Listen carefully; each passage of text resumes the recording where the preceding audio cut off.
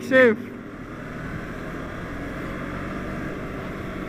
Hai guys, welcome back to Rider Channel. Kali ini yang akan saya bahas adalah Tentang ZX25 R yang naked oke? Okay. banyak banget sih spice apa bukan spice ya apa? Uh, blog blog blogger blogger yang bikin konten juga youtuber juga yang mereka membahas tentang akan keluarnya si ZX25 R naked ini ya. Tentunya mungkin kemungkinan juga akan keluar tapi mungkin si Kawasaki ini lagi mempersiapkan desainnya juga ya. Kalau menurut saya sih ya bisa aja 70% bakal keluar ya. Tapi entah kapan belum tahu kan ya kita tunggu aja 4 silinder dengan naked seperti itu kan sepertinya pasanya gahar gitu kan jarang menurut saya kalau itu keluar sih bakalan boom banget ya. Bakalan keren banget apalagi kalau desainnya bener-bener sangar gitu kan. Jadi kalau menurut saya sih kemungkinan bakalan keluar ya si ZX25R Naked ini. Karena si H2 H2 pun juga ngeluarin ya Naked kan. Terus apalagi ya yang ngeluarin Naked? Itu di Kawasaki juga Z1000 juga keluar ya kan? Z1000 ada Z800 nah di segmen 254 silinder masa nggak ada kan gitu kan? Di segmen 2 silinder pun Z250 saya pakai ini juga ada keluarkan ya berarti kemungkinan kemungkinan ya banyak orang yang masih bilang 50-50 sih memang. Cuman mungkin kalau dari saya 70% bakalan keluar tapi mungkin nggak dalam waktu dekat ya. Mungkin waktu yang agak lumayan karena juga mereka pasti juga akan melihat kan perkembangan penjualan penjualan karya mereka di Indonesia ini atau di dunia yang si ZX25 mereka pasti akan melihat dulu kan perkembangannya seperti apa petintanya banyak atau enggak gitu. Kalau mungkin banyak ya kemungkinan mereka bisa merilis itu.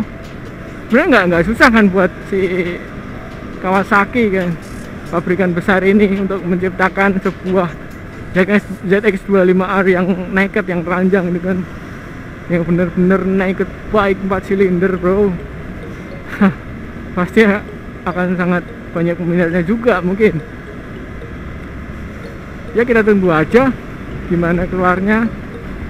Dan kemungkinan juga harganya agak terjangkau karena dia nggak menggunakan fairing oke? Okay?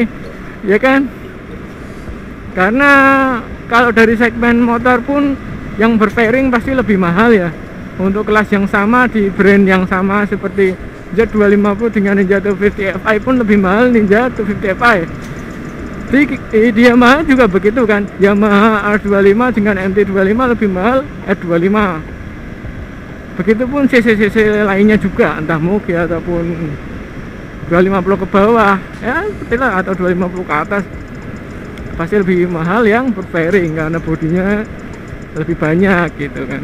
Nah dengan harga yang lebih murah ini kemungkinan akan lebih banyak peminatnya terutama yang punya moge-moge entry level seperti ER6 and ER6F mungkin mereka bisa aja bakalan nukerin motor mereka untuk mendapatkan si 254 silinder yang naked ini. Oke. Okay ya tunggu apa lagi? Uh, buat mereka kan 4 silinder. Mother of god. Oke okay, 4 silinder itu buat orang Indonesia itu masih premium banget ya premium bike. Ya kan kalau dua silinder sih udah banyak memang walaupun masih kedengeran merdu sih buat saya. Cuman udah banyak banget.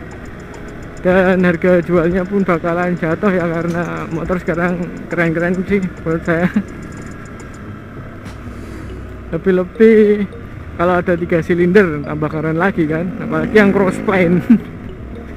Wah memang perkembangan motor semakin lama semakin gila bro Oke, jadi kita tunggu aja apakah si X25R Naked ini bakalan keluar. Entah namanya apa nanti kan kalau misalkan keluar. Kita tunggu aja, Bro. Terima kasih telah menyaksikan video saya ini. Jangan lupa untuk di like, komen, dan juga di subscribe. Jangan lupa juga di share ke teman-teman kalian pecinta otomotif, pecinta motor, pecinta Sunmori. dan pesan saya kepada para Sunmoriers jangan ugal-ugalan. Oke kalau kenal pot racing juga jangan pakai yang bener-bener bising ya. Pakai yang kalem-kalem aja bro. Yang penting suaranya kedengeran merdu. Oke. Yang penting motor kelihatan bersih cakep oke mulus. Oke bro. Thank you for watching this video. Bye